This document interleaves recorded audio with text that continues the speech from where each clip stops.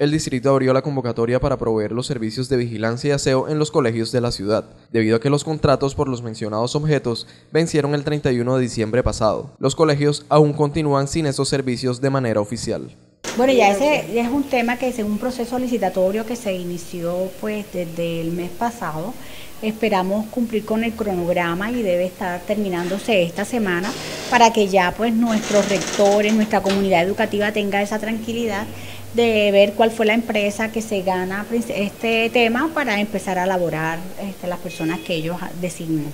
Según expresó la funcionaria, de acuerdo al cronograma, en la primera semana de marzo deberá cerrarse el proceso licitatorio y en la segunda semana del mes los contratos deberán ser adjudicados.